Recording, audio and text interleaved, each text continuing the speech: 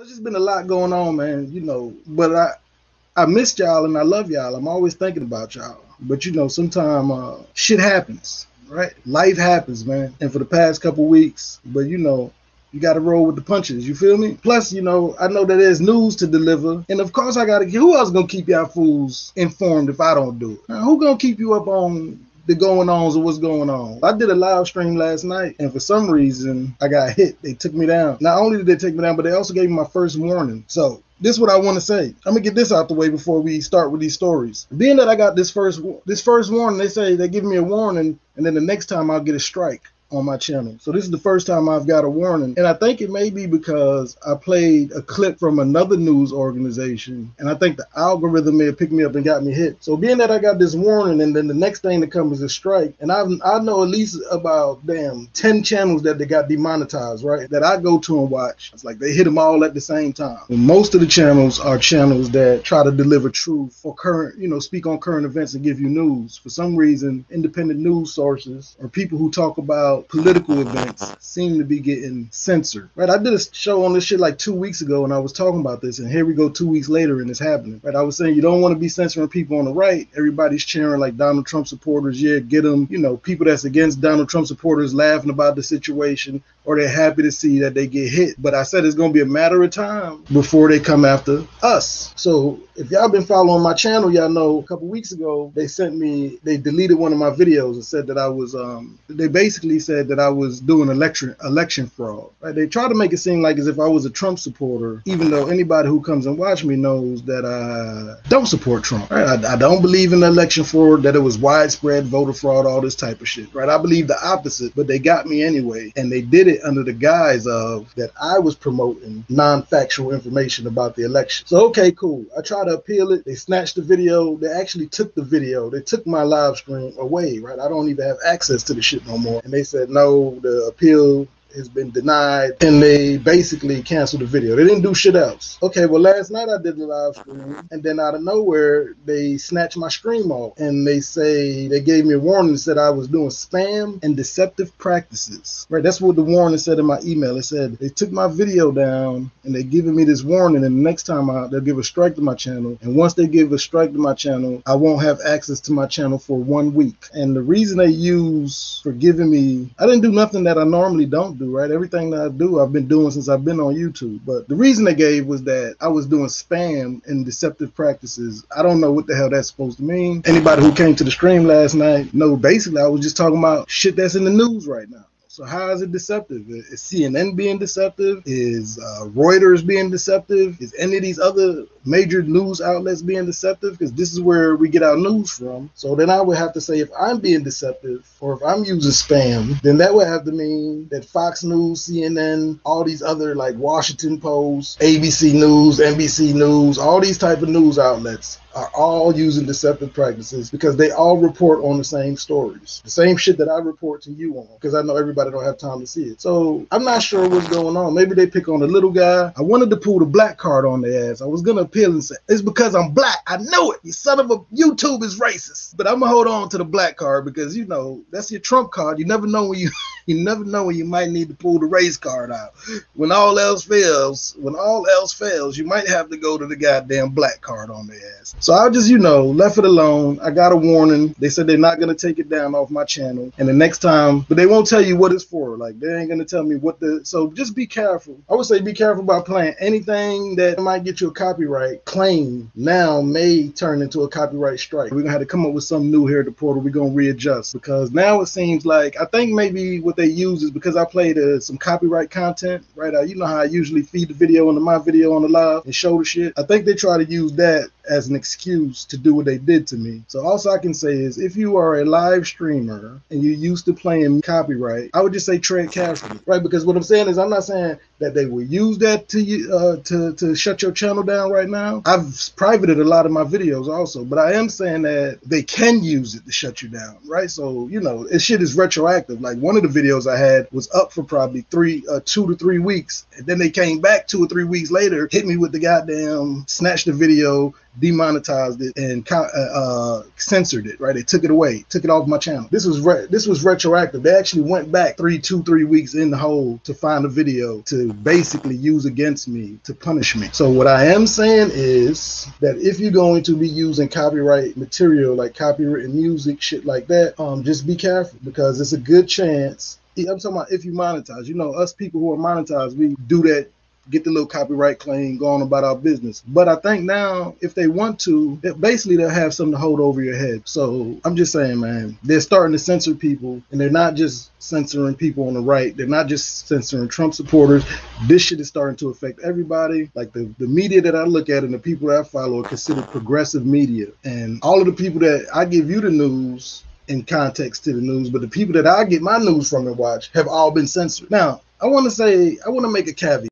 A lot of people are talking about being censored. What they're not censoring people, right? Censor meaning to take you off the platform, kind of like what they did to Donald Trump. Dead your account, not let you post anything, take your voice away. They're not doing that. So this shit about their censoring people is kind of misleading because I'm hearing all of these uh, left wing media independent media groups and these progressive, uh, let me say progressive media groups saying, oh, we're being censored. They demonetized us, we're being censored. So I think YouTube could look at it like, okay, well, this is our platform. We don't have to let you make shit, right? The people that's been demonetized haven't got their uh, Google AdSense check yet for the month and they're going to lose it. So say if this channel is bringing in eight, ten thousand dollars for the month, five, four thousand dollars, or this their main source of revenue, after they get demonetized, they lose all that shit because you lose your account. You don't have no recourse, right? There's no recourse. There's nobody to talk to. There's no type of division to call. None of that shit. If they if they demonetize you and say it's before you get your last check, you just lose all that revenue. They keep your shit, and they can still put ads on your video. Now remember, Google, whether you're monetized or not, can still put ads on your channel, and they can make revenue, but they're making it to where you won't be able to make none, which is basically defeats the whole purpose of becoming a YouTuber. So whether you're a monetized channel or not, YouTube has the right if you look in the community guidelines to still add ads if they so choose to your videos. They'll get paid or they'll get whatever compensation from the advertisers. They just are not going to share it with your ass. So basically, they'll get paid for your product while, in essence, giving you nothing. So when you hear people saying they're they're being censored, it's not so much they being censored. I guess it's a form. It's a, I couldn't even call it censorship, right? Because censoring somebody is taking their voice away. What YouTube is basically saying is you have the right to make whatever content you want. Right? We're not going to kick you off our platform. We're not going to uh, shut you out or try to shut you up, but we are going to disincentivize you of doing what you want to do because we don't want you to play by our rules. So if you want to do what you want to talk about what you want, that's fine, but don't plan to get no super chats and don't plan to get no ad revenue. We're going to demonetize your channel. Now, people are taking that shit from demonetization, and I guess it feels like a sense of censorship because, again, if you are a YouTuber, and if this is your primary source of income or one of your sources of income, and this is what you do it for, and they're gonna take away your chance to be monetized. I mean, when I say demonetized, I'm talking about you losing your ads, you losing your memberships, you losing your super chats. Your channel just becomes a regular channel like it's been before you got monetized. You're no longer in the partnership program. So again, that's not censorship, but that still is a hell of a hit, especially if you worked hard, if you build. I mean, this these channels I'm talking about, they got like 101,000 subscribers, 70,000 subscribers, 40, 50,000 subscribers. They've been doing this shit four years, three years,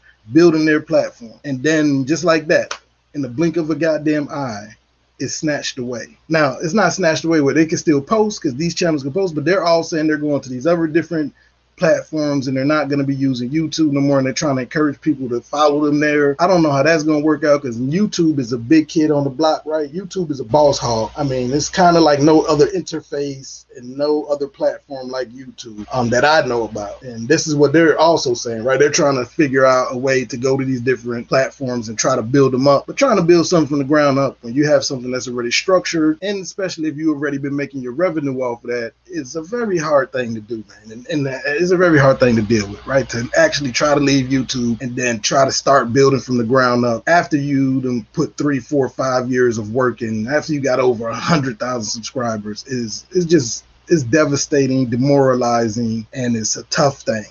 So I, you know, I tip my hats to those people who are going to try to do that. But if I can, I would like to try to stay monetized right? Uh, work we work hard to get our channels uh, monetized and get us to where we need to get to where we need to be. Um, so if I can, I would try to keep my channel monetized, but I'm not gonna do it on the premise that I can't have a voice or I have to watch what I say or you know I can't speak my truth.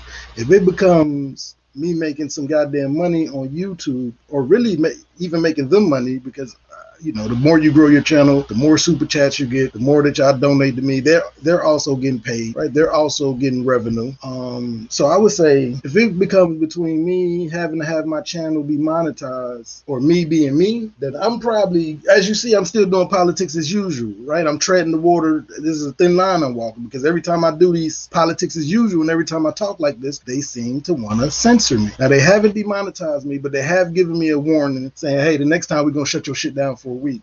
And then, then after that, it'll be strike two. And then, you know, but it, my point is, once you get that warning, it feels like your back's against the wall because they don't, again, they don't tell you why they're doing it, what's the reason they're doing it. They don't give you, they didn't give me no explanation. They, the only thing they said was spam and deceptive practices. I have no idea what the hell that means. I've done my live streams the way I've always done them. I haven't really done anything different. Um, I've been doing this shit for over a year now. So if it's spam today, it should have been spam yesterday. And if it was spam yesterday, it should have been spam and deceptive last year. So I haven't changed my format, right? I mean, I've been doing the same shit I, have been doing. So we'll see how this will go. But again, I don't feel comfortable like uh, being on here trying to tell you that I'm gonna speak the truth. Um, you know, share shit with you the way I share shit with you. But then, like I say, uh, if it becomes a, a point between me doing my channel and the vision that I seen me doing it, which is giving y'all the truth. Right, speaking, you know, I don't pull no goddamn punches. I'm not the type that's, I'm not the type of man that you could just come around and tell me as a grown ass man, hey, watch your mouth. I don't, I'm not gonna take lightly to that. Uh, you know, of course, I'm gonna push back like hell. I'm just not one of those type of dudes that you're just gonna be able to, you know, tell me, you know, shut up type shit. I'm just not one of them type. I'm not. It's not in my DNA. It's not in my blood. If it's going to become a point to where I have to start censoring myself or being careful what I say and all this type of shit here, then at the end of the day, it won't be worth having the channel. Not in the capacity that I have it, right? The type of channel I got and the shit we talk about and the way I talk about it is authentic. Anytime they want to have an excuse, if you do do something that they consider to be off-putting or, you know, they want to teach you a lesson, what they're going to do is go back and retroactively punish you. They're going to find shit that you did in the past. Kind of like, you know, this is just the way America works now anyway, right? Kind of like they do in the prison system and anything else. If they want to get you, they'll just, you know, go back to some shit you did four, five, six years ago, and then they'll try to nail you with it, even though it won't have nothing to do with that shit, right? It's something. So I'm just saying, if you give them ammo, just know that once you start giving people ammo, it's just a matter of time before they use it. I got so much copyright shit on my channel that um they could probably shut my shit down anytime they choose. Right? They got they got a they got a plethora of material and videos to pick from. right? So I done. Uh, I'm gonna switch it up. I done privated some of my shit, and I'm gonna try to change it up now that I know. Now it could not be nothing personal, right? I don't think it's personal. I just think they set the algorithm now to be way more strict, right? It's where before you just gonna get it. You remember how before I play music or shit like that that was copyright, they'll shut the stream down for two or three minutes, then let it back up. Well, now they're not gonna do that no more. Now they're gonna give you the warning and the strike. So I guess what they they just they're clamping down on the rules. And that's the thing about rules, right? When they're in place and then you get comfortable, like we all are on YouTube doing a certain thing, even though we know you're not supposed to play copyright music in this shit, they've been letting it slide for years now. They put it in the rules, so if they ever want to, you know, kind of like we have laws on the book right now, but they don't enforce all of them, but they leave the laws there. So if they ever want to go back and enforce the bullshit laws, they can. Right? Like in some say, I think uh, in some states it's still illegal for black people and white people to be married. There's still laws that's on the books, but these states don't necessarily enforce them. But if they ever wanted to go back and do some bullshit, they can afford. They get, hey, we got it on the books. It's right here. And that's kind of I think what YouTube's done. Like they've made all these rules and regulations. They've been very lackadaisical with them. They haven't really been enforcing them. They've been letting people pretty much, you know, wing it and do what they want. But then it comes to the time now where they're like, okay, now we're gonna start enforcing the shit, and everybody's shocked so I'm just saying this is going to be a period. This is a time for adjustment, and those who can adjust, we're gonna make it. And I mean, it's not gonna be like you're gonna have time to adjust. The adjustments need to start now. If you are a YouTuber and creating content, you need to make sure you are starting to adjust now. Just know you're not gonna be able to do the same shit you used to do because they have altered the algorithms and they are way more strict. Last night they shut my whole shit down and gave me a warning and said my that warning will stay up permanently on my channel.